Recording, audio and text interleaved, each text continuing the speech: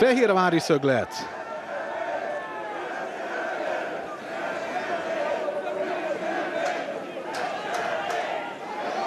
Dárdai végzi el. És ott az egyenlítés! Azonnal válaszol a Fehérvár. Larsen.